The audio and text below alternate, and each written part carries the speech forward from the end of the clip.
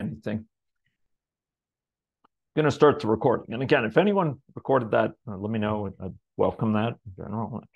Uh, that's that's awesome, and and I'll see if I can post it. But um, I want to now take off um, from what we've just put in place with this model, and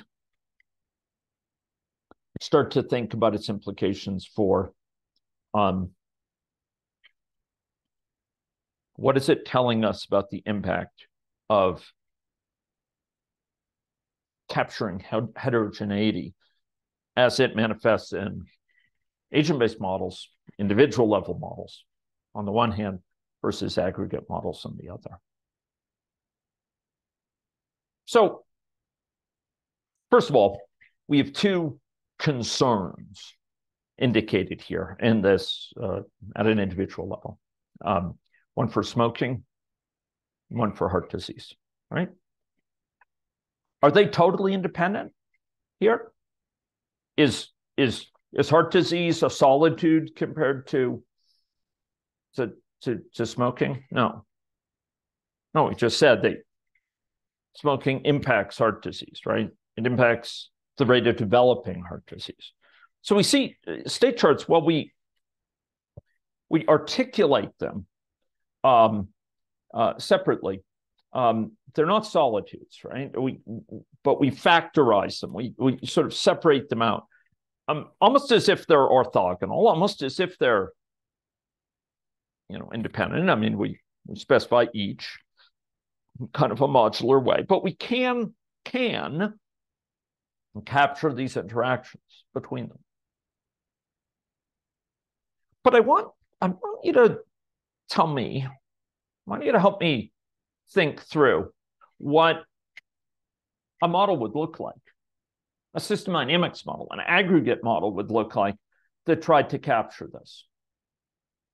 So I'm going to say new model. You can follow along if you'd like. I'm not going to require you to hand this in, but um, um, system dynamics, uh, I'll call SD aggregate, smoking, heart disease, um, uh, thought piece.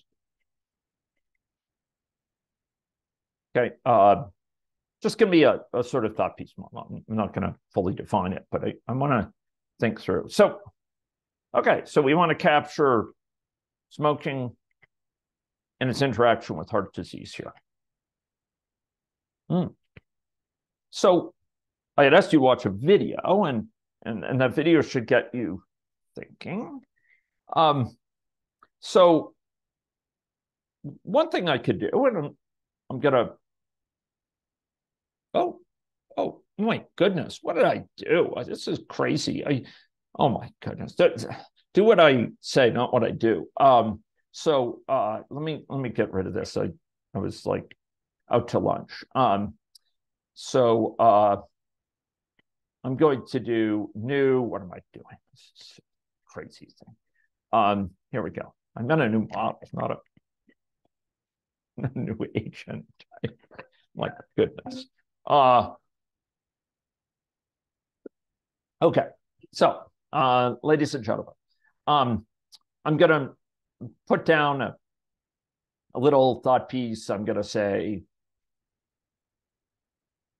well, you tell me. I, I, I want to challenge you more. No.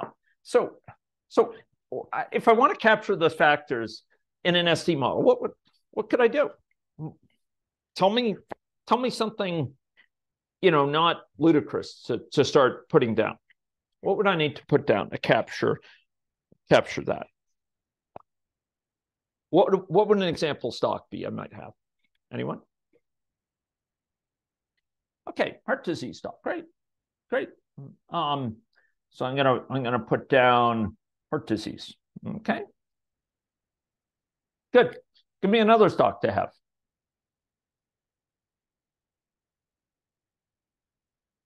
Okay, okay. I got to say, a population is a sum of a bunch of stocks. So, so while that's it's true, Rachel, that there is a population. It's an aspect of state. Often uh, we treat it as kind of mediated by the state. So it's kind of a sum up of, of different states. We don't capture it explicitly on itself, but it's it, point well taken, and we we will capture that. It's just kind of a sum up of things. Give me an aspect of state that I want to capture. Okay, uh, healthy. So so that would be like no heart disease. What what did I call it in that? What did I call it in that model? Healthy heart. Okay, so I'm gonna I'm gonna call it healthy heart. There we go. Um, healthy heart. Okay. Um, there we go. Great. Okay. Give me so so I want to capture heart disease, but I also want to capture smoking's impact on on heart disease. Okay, okay, okay. So so um, I'm going to put down never smokers. Mm-hmm, mm-hmm. And what else do I need? Or, or tell me something else you think. Okay, Clinton says smokers. So okay, I'm going to put down smokers. Okay, smokers. Yeah, and and what else? Okay, former smoker. Okay, okay, okay. Let's, let's put it down. Former smoker. Okay. Mm-mm. Mm-mm. Great. Okay. Now, um, this is kind of the nouns. Where are the verbs? The verbs are the flows, right? That's where the action is. I mean, the stocks are the aspects of state, but, but if we want to think where the action is, where the change takes place, it's with the flows. So where would the flows go? Hmm? Okay, so so okay, this is this is good. I like this discussion. Okay, begin it, never smoker. Okay, okay. So I'm hearing I'm hearing something like this. Yeah. Um, so this is like initiation.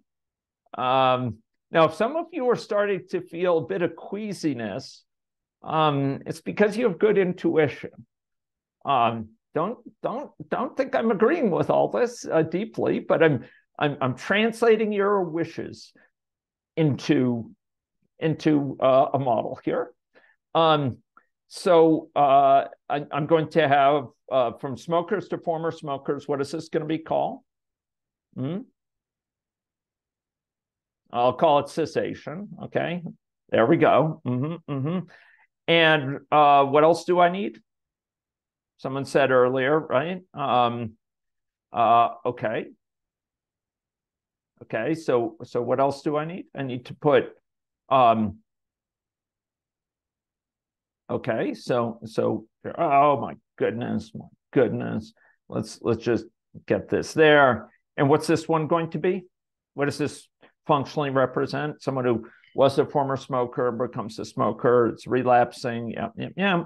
Okay, okay. I I want people to be thinking hard about this though okay and and and, and be asking themselves is this is this really going to work okay and and then what i'm hearing is i need some flows from the from the top.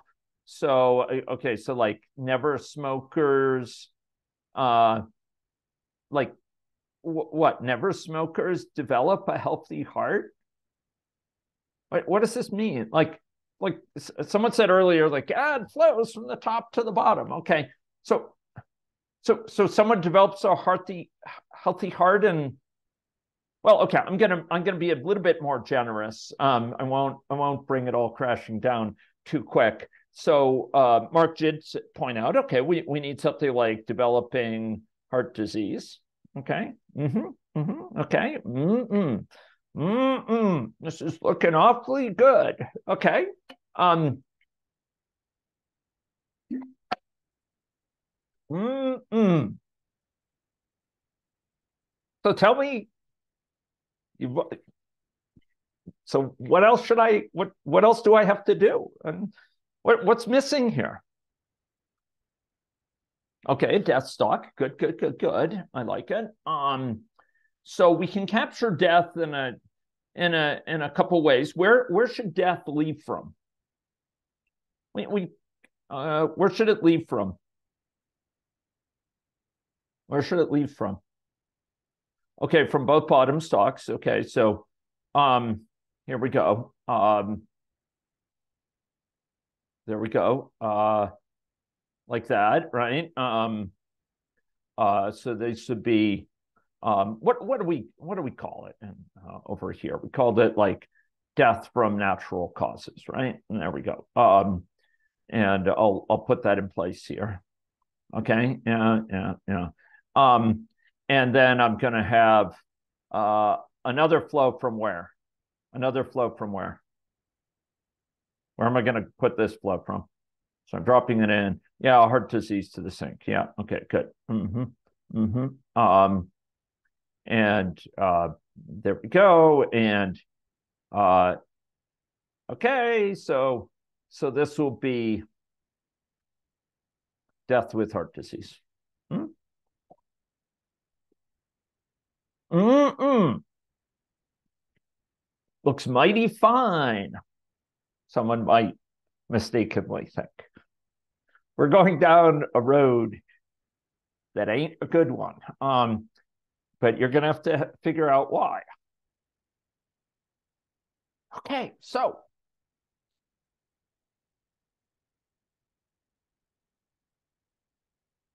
some of you should be thinking, what is this not not capturing? Okay, we need to have a link of never smoker and smoker to influence development of heart disease. Okay. Um, okay. Uh, so so so you could do something like this and if so you're you're actually developing something that has a certain internal logic so where would this link go for example smoker where would it where would it go where might it go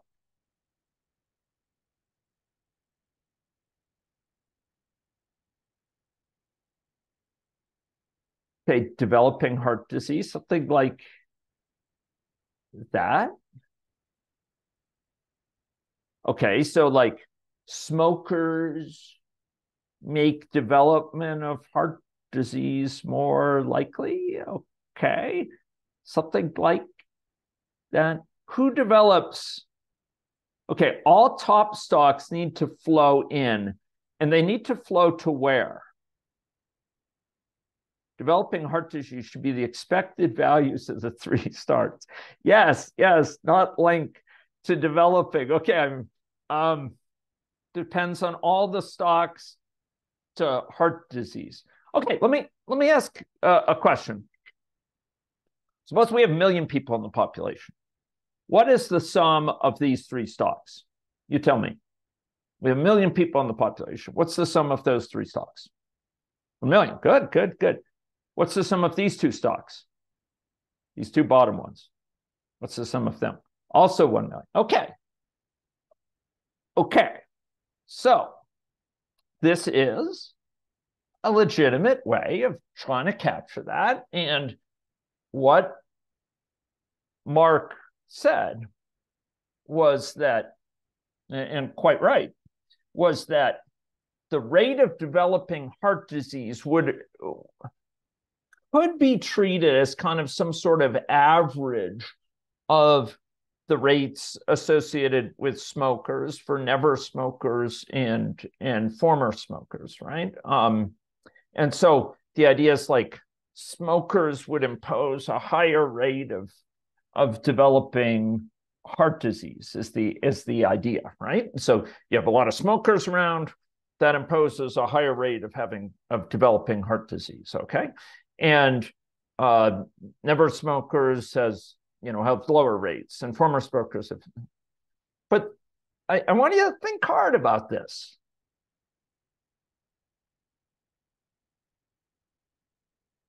Who's who's at risk of developing heart disease? Is it the entire population here? Or is it people up here who have a what? Who have a Okay, let me let me put it this way. Suppose you have smokers here. Suppose they already all have heart disease. Do they contribute to a higher rate of people with a healthy heart developing heart disease? No. Suppose former smokers, 75% of them have heart disease. Do they do, to, in, but suppose they're half the population. Should that but 75% already have heart disease. are all all of those former smokers going to be contributing to sort of raising this risk of developing heart disease because they have a much higher risk than than than never a smoker? No, right? It's like the people that are contributing to this risk of developing heart disease are the ones up here in each of these categories who are not already have have not already developed heart disease, right?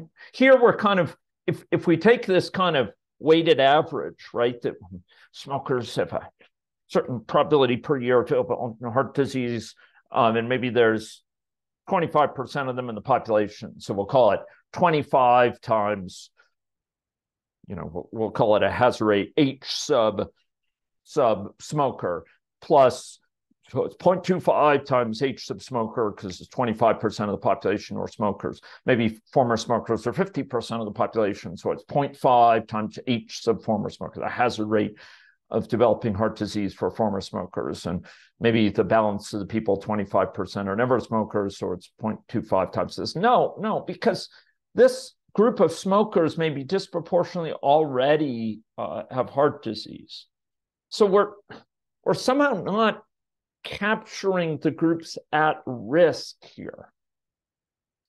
We could try to do it this way, but we start end up we, we end up getting rather in a messy situation because we have to assume that kind of the group influencing this has the same division among them as as in this general population suppose we instead wanted to capture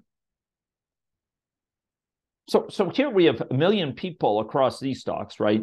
Maybe there's 250,000 here, 250,000 here, 500,000 here, you know. Um, and maybe here there's,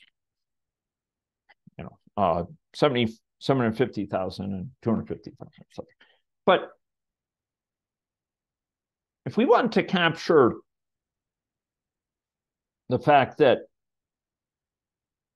we want to find this effective intervention programs, prevention and and and cessation and, and relapse prevention.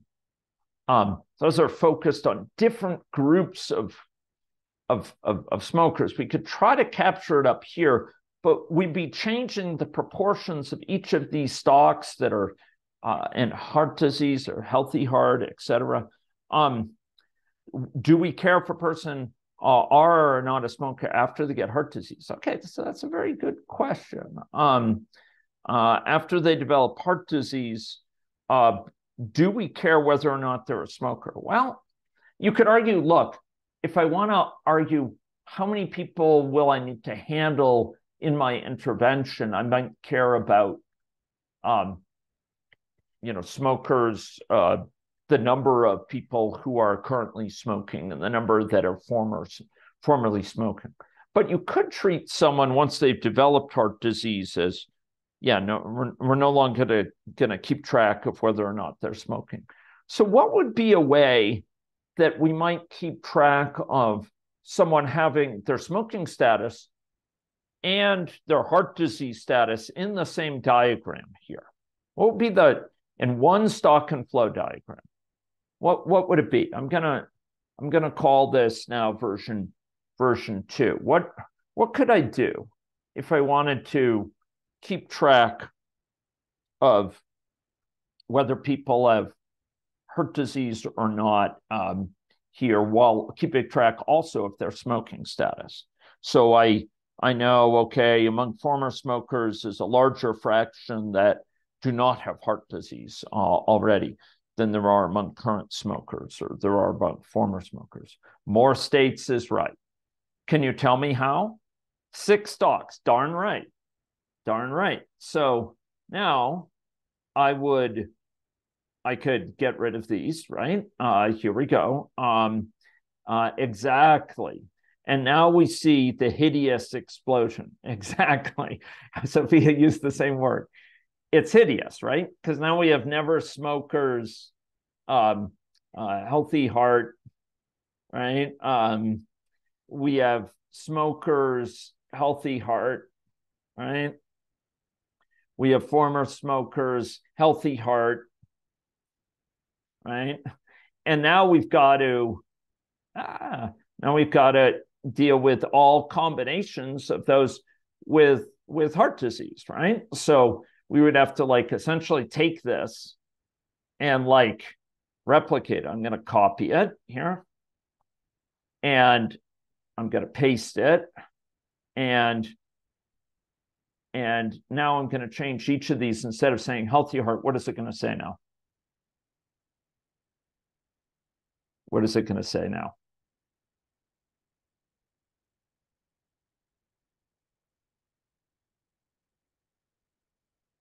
Okay, heart disease. Yeah, it's going to say heart disease.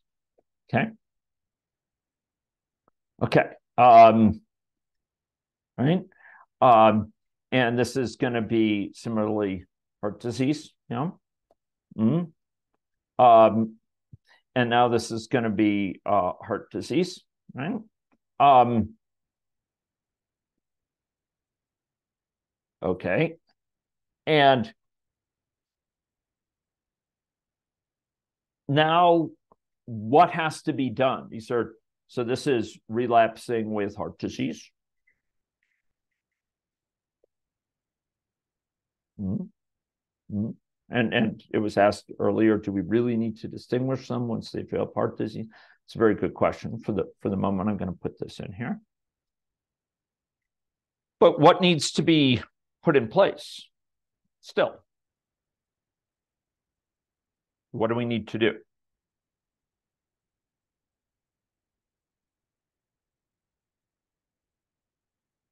Okay, it makes it easier to understand. Uh, flow between top and bottom. Okay, yeah. So there's this flow here. Huh? Hey, get this, get this down here. Take a look at this. There we go. Okay, okay. So what could you describe? What is this flow represent? What what does that flow, particular flow represent? Never smokers, never smokers, uh, smokers developing heart disease, right? And I mean, it's almost uh, it's it's distressingly tedious. It's distressingly, it's hideously sort of combinatorial it's um, uh, just you know uh, sort of boilerplate almost um, but we'd have smokers developing heart disease right and we would have uh, here former smokers developing heart disease right okay so this is uh, former smokers developing heart disease. Now, are there flows backwards here? Are there flows back from never smokers having heart disease to never smokers having healthy heart? No, right? We said heart disease develops, it sticks. Once it develops, it sticks. Could we characterize in this model the differential risks of developing heart disease for someone who's a current smoker by the way, this should say uh, current smokers, not smokers, current smokers, right? Um, like that. Could we say current smokers have a higher risk of developing uh, developing heart disease than former smokers do? Mm-hmm. Yeah, yeah, we can very readily, right? This the, the the hazard rate, the chance per unit time of of coming across for current could be much higher than for never, and former could be somewhere perhaps in between, um, right? Or, or perhaps, yeah, could be, uh, yeah. In any case, uh, okay, okay. Why do we have six stocks here? Why do we have six?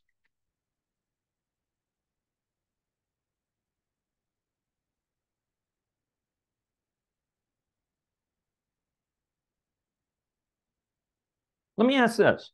This one, how many how many states do we have here?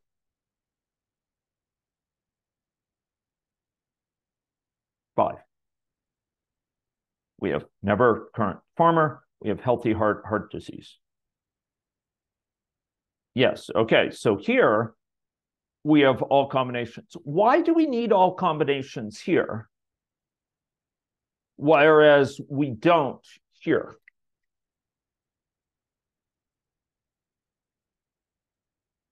Yes. An agent here can only be in one of these three. And they're also simultaneously in one of these two. Can the current smoking status impact the progression through here in this agent-based model? Can can there being a current smoker affect their likelihood of developing heart disease for an agent-based model? You bet it can. Here, we couldn't really do that. We kind of started with that, but it got messy, right? We thinking, okay, but but former smoke, you know, current smokers might already have mostly developed heart disease, so that there's not as many of them in the non-heart disease populations, so they're not going to be increasing the risk as much. Here we have to consider if we really want to, you know, boil it down, we have to consider all combinations of them. It's combinatorially. It's combinatorial. Mm-hmm. How if I wanted to also keep track if people vaped or not? Some people smoke and vape, some people only vape, some people do neither. What would I need?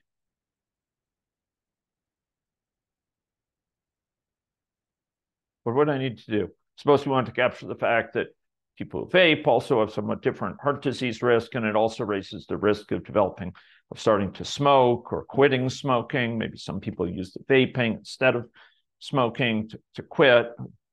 What do we what do we need to do if we, we want to represent vaping and, and sort of starting vaping and stopping vaping?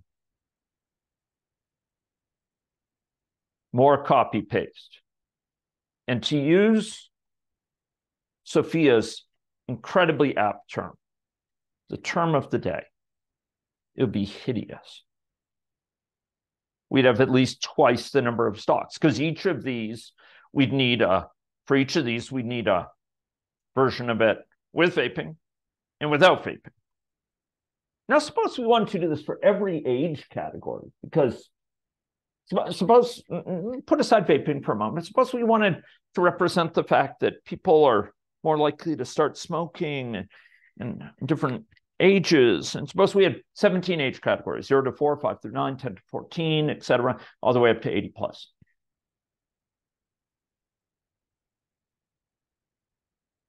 Yeah. This, ladies and gentlemen, is the hideous reality when you start to try to take into account heterogeneity, particularly dynamic heterogeneity in these models. Let me ask those different age groups, would there be need to be any flow between them if we were looking out 30 years, 40 years? Would there need to be any flow? Is it possible someone from a zero to four age group might leave that age group over the course of 50 years? Yes. So now we we'd somehow need copies of this for every age group, and they'd need to age along there. Suppose, in contrast, we wanted to represent 17 age groups here. Suppose we wanted to do a state chart. It's not the only option. We can actually do a continuous age very nicely. But suppose we want to do a state chart. 0 to 4 years old, 5 to 9, 10 to 14, 15 to 19, etc. Suppose we want to do a state chart. Would we need to do all possible combinations with this here? With these ones? No, we wouldn't. We'd just have a different state chart. It's called age state chart. And it would have 17 states in it and people's progression along them. Is it possible that state chart that if they're in teenage years that we could capture them as being more likely to initiate smoking? Yeah, yeah, exactly, exactly, Rachel. Um, exactly. But but if we want to capture the fact that teenage years someone's more likely to smoke, could we capture it? Yeah, we can. If we want to do an eight in a in an aggregate model, we have this combinatorial explosion. In order to distinguish people with different characteristics, certain age, a certain smoking status, a certain heart disease status, maybe a certain vaping status, we need to turn it into a separate stock because stocks capture the state. Those distinguished people, the fact that they are in a different stock allows them to be subject to different flows with different rates out. But we need to consider all these combinations of them, the legitimate combinations. Whereas it's very different in an agent-based model. We don't have to we don't have to keep track of all the combinations because a person is in exactly one of these at a time, exactly one of these, and exactly one of the age groups at a given time. And they transition here among these, and it might depend on their age. They transition among these, might depend on their age and their smoking status. But we don't need to keep track simultaneously of the count of people with a certain combination. We, we just keep track of the exact state someone is in with respect to each of these state charts. And as Mark emphasized, and they are in this single state in this state chart, and this state in this state chart, and this state in this other state chart. In that original stock and flow where we had smoking status and heart disease status, we didn't have that way of saying, oh, the person is in this one, the current smoker, and in this other one, and the lower one. Well, we didn't have a way to do that. We just had to sort of say, well, the population is divided here. We couldn't really say, oh, one person is here and here, right? It's just the count of people here, the count of people up here. We have no way to say, well, it's the same person. Person 394 is, you know, in this state here and that state there. No, it's just a count of numbers that are in each of the the, the heart disease states and each of the, the current states. So remember, in aggregate models, we face combinatorial explosion to deal with, with dealing with heterogeneity. We have to consider all combinations and, and distinguish them in different stocks. And there's ways you can kind of, with subscripting, trying to paper it over, but it ends up getting really confusing with all the all the different flows. You have to duplicate these and have kind of conceptually, and you have these flows coming out in different directions. Whereas in an agent based model, at an individual level, we don't have to duplicate it in that way. The final thing I'll say, and then I'm going to let you go, is that here we can keep track of their history when they got heart disease, when they last smoked, for how many years they were a smoker. You can just keep track of when they came into the state, when they left that state, when they re-enter, etc. We can keep track of their the history of a person. Can we keep track of a person's history here when they developed heart disease, when they developed started smoking, how long they spent in this state? No, we can't. You can't carry around these aspects of history, capturing people's trajectories, their history over time in an aggregate model like we can in an individual based model. In those, are some big differences for heterogeneity, capturing differences within the population. It scales really badly for aggregate modeling, like combinatorial explosion, geometric if you have 17 age categories and two two smoking or two heart disease status, you got 17 times 2, 34. And then if you have three subsequent smoking statuses, you have another times three, and each of them is multiplicative. Here, it's additive. Take that to heart. Heterogeneity kills in aggregate models it scales much more gracefully in agent-based models and individual-based models, and we can keep track of history. And that, ladies and gentlemen, is a key lesson for today. So I'll look forward to seeing you on Thursday. Thank you again very, very much. And I'll be sending out some mail about office hours or posting an announcement about it. Thanks again to all for bearing with this uh, final week of time away.